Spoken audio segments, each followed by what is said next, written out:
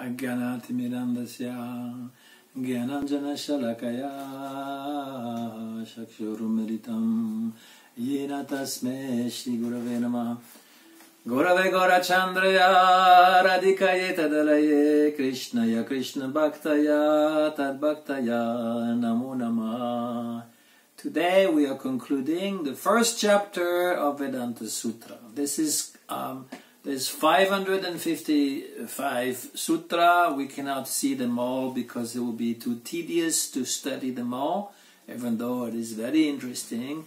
But we're concluding with two sutra. The first one is Yonischahi Giyate. So in the following subject, as we have already uh, spoken, Brahman is celebrated as the source, yoni, of everything, the womb. In Bhagavad Gita, Brahman is called, um, he's called the womb, yoni. Mama yonir mahat brahma. From this yoni, everything comes. From Brahman, uh, from Brahma, the uh, god of creation, to the ant or speck of dust, everything comes from this yoni. Sripad Madhvacharya, or um, Acharya Dev or Guru Dev in the uh, Sampradaya is applying to Brahman a feminine noun. There are many feminine nouns which applies to Brahman. Yoni is one of them, the womb, or Stri means woman, uh, Maya, then uh, Prakriti, all these uh, words qualify Brahma in his omnipotency. Besides being called uh, Purusha, says Madhvacharya, Brahman is called Prakriti, which is a, a, term expressing the female principle in creation. The Shruti, the Upanishad, and the Smriti, the Purana, and Pancharatra, they refer to God's will, Isha Shakti, as Mahamaya, Avidya, or Mohini, or Prakriti, they tell us that God and His will are one. This is what Madhvacharya is saying. And he's quoting Shruti, saying Brahman is both male and female, Purusha and Prakriti. Of course, us as Gaudiya Vaishnav, we understand this is Radha Krishna. The origin of everything is Radha Krishna. Krishna doesn't create anything. Uh, it is through Vishnu he only plays. Krishna is only playing on his flute. But um, his Shakti, internal Shakti, Swarupa Shakti, which is uh, Srimati Radhika, then she becomes Bahiranga Shakti and also Jiva Shakti. Every, every Shakti comes from Srimati Radhika. And he is the Shaktiman, the one who possesses Shakti. This is how also Madhvacharya is explaining the sutra that we have seen, Atma Krite Parinamat. We have seen how Vyasadeva is saying that creation is done through Parinamavada. Not Vivartavada as Shankaracharya is saying, but Parinamavada meaning transformation. There's a transformation. But not of Brahman himself, not Vishnu. Vishnu doesn't touch material nature. His Shakti is getting transformed. There's not a Swarupa Shakti doesn't get transformed she manifests other kinds of uh, variety of Shakti. It is the Bahiranga Shakti, Maya Shakti, Prakriti Maya, which becoming transformed.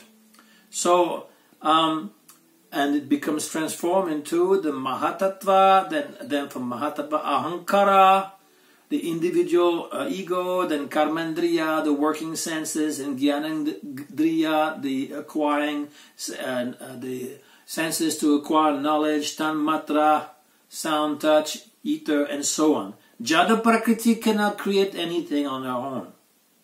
Just like um, male is a seed-giving father, and the mother produces uh, a child by the combination of the egg um, and the seed of the father. She cannot produce the child on her own. This is an example which is given in Sankhya and the Bhagavatam that Prakriti is female, Purusha is male. It has nothing to do with the superiority of man over woman. It has nothing to do with this. Just a simple example to make us understand that you need to have a creator. So now we're concluding with this sutra, Etena sarve vakyata vakyata. Hereby, etena, everything is explained, is explained. This is the last sutra of the first chapter of Vedanta Sutra. Then there's a repetition of the last word. Vakyata Vakyata. This is the way the Shruti is doing, even in the Upanishads. At the end of the Upanishad, or at the end of a chapter of the Upanishad, the last word is repeated.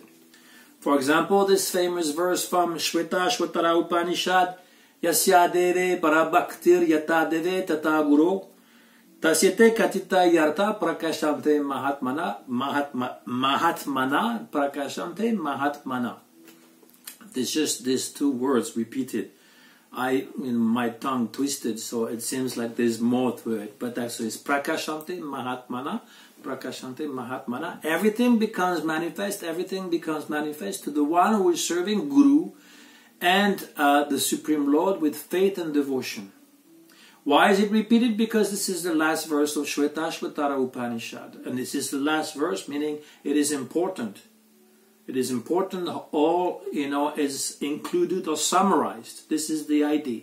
The last sutra of Vedanta Sutra, the very last sutra, the first one is Atato Brahma Jigyasa. The last one is Anavriti Shabda. Anavriti Shabda. It is repeated twice. Sometimes one word is repeated, sometimes two words are repeated, just to indicate this is the end of the book, the end of the chapter. Hmm? Anavriti Shabda. There's no return because of this Shabda. And some Vaishnava, they're saying the Shabda is actually this Parashabda Mahamantra. It concludes with the Mahamantra. But we will see, maybe, in due time. Madhvacharya again is uh, saying the word is repeated, etena sarve vakyata vakyata, the word is repeated because the Sutrakara, the one who is writing the Sutra, Srimad Vyasadev, also called Badarayana, he's uh, stressing the importance that was stressed from the very beginning. This chapter is called Samanvaya, meaning it is the concordance of all scriptures. Concordance meaning that you have some similarities between this scripture, that scripture, Shruti and Smriti, for example. So he said, uh, hereby etena, through all the concordance of the sacred text, Sarva Shastra Samanvaya, as Madhva puts it, all Vedic text, the four Vedas, the Upanishad, the Purana, the Itihasa, the stories like Mahabharata and Ramayana, the Pancharatra, all this explain only Brahman, Vishnu. This is the name that he's giving. Madhvacharya is a Vaishnava. Vaishnava means a devotee of Vishnu. So he's saying Vishnu. We're saying Krishna. But actually, Vishnu is creating the world, not Krishna. Krishna, of course, is creating the world, but not directly. So, all the words, all the teaching of all Vedic texts only stress to Vishnu. Also, Bible. Also, Bible, Quran, they are not naming Vishnu, but they're describing Vishnu. Either Brahma, the creator, or uh, um, Garbhodakshayi Vishnu, who is in this universe. It describes Vishnu and his multifarious attributes, like this example I gave in the Quran. I was just speaking about the Quran. The um, Allah has 99 names, all of which qualify the Godhead, and the two that are coming all the time back in each, not sutra, they call the uh, uh, surat. Uh, uh, Bismillah Rama Rahim. Rama He's very merciful. Rahim is compassionate. This always comes back. But he's also Malik, the king, and the beginning and the end, and the judge, and so on and so forth. So many qualities. So attributes are given in the Bible, Quran, and mainly in the Vedic texts such as um, um, Veda and Upanishad and Purana and Pancharatra. He's Jagat Karana. The Vedanta Sutra, as this described, how atato brahma jigyasa, how can we define his janmadhyasya yataha, janma karanat, the cause of the universe. Is Anandamaya, we've seen Anandamaya, Vyasat, another sutra, is made of bliss. Ananda Purusha. Krishna is always full of bliss. He's the controller, the inner controller, Antaryamin, within the heart. He's Purusha, the Supreme Person. He's Paramatma, everywhere. He also has impersonal qualities. Sometimes we describe him with impersonal quality like Avyakta, Adrisha, cannot be seen, Avyaya, Akshara. is immovable and it cannot be changed. Um, he also has contradictory qualities. Um, some Upanishad is saying, Apani pado javano grahita, pachati akshakshu shashrinoti akarna, that he has no feet, but he walks. Uh, he has no hands, but he grabs everything. He doesn't have any eyes, but he sees everything. Doesn't have any ears, but he hears everything. Also, Brahma Samhita. Brahma Samhita is a Pancharatra writing. Uh, Advaitam, Achyutam, Manadim, Manantarupam, Adyam, Purana, Purusha, Navayo, Vanamsha. Vedeshu Dulaba Adulabam Atma Bhakto Govinda Mari Purusham Tamaham Bhajami. Uh, is Advaita, uh, one without a second, Achyutam, uh, he's uh, without deceit. Anadim, he doesn't have a beginning. Ananta, he's endless. Uh, Adyam, the first, Purana Purusha, the oldest person. Navayovanamsha, but he's youngest, always young. Vedeshu Dulabam, Adulabam, very difficult to understand, to see in the Veda. This only Atma Bhakto, those who have uh, this, they, they have this uh, love for the soul, then they can see. So he also can be known. Srimad Madhvacharya is saying he can be known by positive attributes, by negative attributes, by contradictory attributes, but he can also be known by negative attributes. So, uh, because all names name the Lord. So, so when you say asat, non-being, non-existent, this is describing the Lord. Shunyat, void. This is what Madhvacharya is saying. Abhava, non-existent. Uh, he's asat, non-being, because he's not an ordinary being. So he's other. Shunya, void, and abhava, non-existence, because he's invisible, incomprehensible, and untouched by the guna. So he has no bad qualities. Uh, so he's Brahman is known by negative terms also, and by negation itself. Even if you say there is no God, this is also a name of God. Asat Shunya Abhava. Uh, that is the meaning.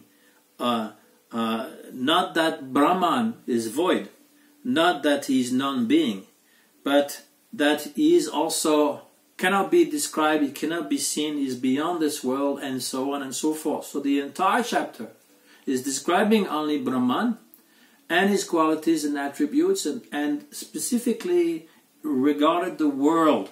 In the second chapter, then we're going to talk about Sutrakara, the Vyasadeva is going to talk about the relation also with the jiva and the wrong understanding, wrong philosophy, like Jain philosophy, Buddhist philosophy, Pashupata philosophy, and the Shat Darshana philosophy also. All these six uh, items of philosophy in India, Mimamsa and Karma Mimamsa, and then uh, the second one is Uttara Mimamsa Vedanta, so it doesn't refute that, of course. But then uh, uh Yoga and Sankhya again, uh, and uh, Vaisheshika and Nyaya, the sixth philosophy, it defeats everything. Thus, everything is explained, is explained. This is the ending of the first chapter. Thank you very much. Panchakalpatarubhya cha kripasindubhya iva cha patitanam pavanebhyo vaishnavebhyo namo namaha.